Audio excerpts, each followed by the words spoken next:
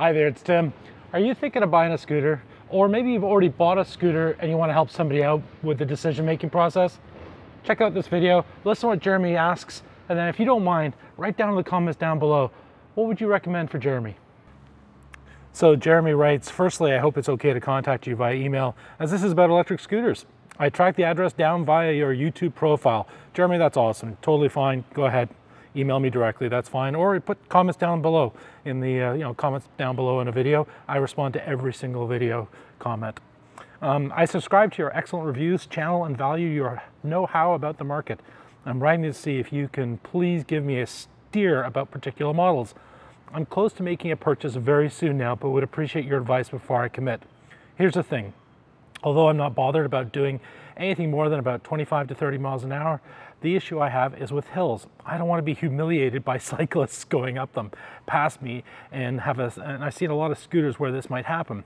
So as that is a priority, it has led me towards the more extreme options with bigger and heavier batteries. The current favorites are the new Apollo Phantom, their new Wolf Warrior X Pro, or possibly the Kaabo Mantis 10 but as A, I don't think I'll use some of their high-end specs, and B, I have an RV and want to be reasonably portable, 35 kilograms is a lot.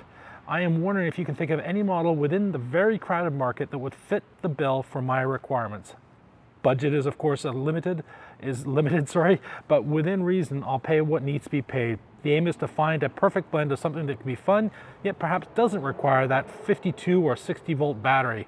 A decent quality build, 10 inch tires are a must, and there is a benefit, oh, and is there a benefit, RE stem wobble or lack of it with a double stem, example the Wolf's. Thanks for taking the time to read. I'm sure you're bombarded by such questions all the time, but I, I value your knowledge, and if you have time to suggest any, suggest any options, I'd be really grateful.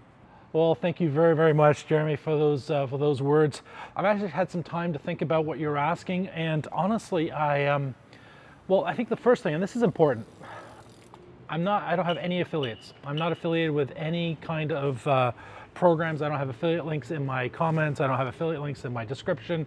So these are unbiased re reviews that I give. I'm not paid by any manufacturers. I do receive the occasional manufacturer, like for example, behind me here, I've got a, a Varla and a U-scooter. So, you know, obviously I'm gonna have, um, have ridden those, but uh, that's not to say there aren't other options out there. So as I said before, you guys put down your recommendations for Jeremy down below. My recommendation, actually, funnily enough, is just simply this. I, I think the Varla is probably good enough. Dollar-wise, you know, a Varla or a 10X is probably plenty. Uh, it is a little bit heavier, uh, but if you don't mind lugging it around, it is a 52 volt, gives you lots of range, gets a big guy like me around really nicely. Another option, of course, is to go with a single single motor scooter. Uh, and if you went with something like a Leger or a Leger Pro even, I think your Leger Pro, especially because he happens to weigh about 75 kilos, which is about 160 pounds, I think you're probably gonna be fine with that. It's gonna be a lot lighter, uh, still really well made. So a Leger, Leger Pro, uh, if you wanna go a little bit heavier and want a little bit more range, maybe go with an EMOVE Cruiser. So those are sort of my sort of picks for you. But as I said before, go ahead, put down in the comments down below. Let Jeremy know what you think. Uh, what's your experience with the scooter you're currently riding or what are you looking at? And uh, what models would you recommend for him? Thanks for watching. As always, give me a thumbs up if you like the video.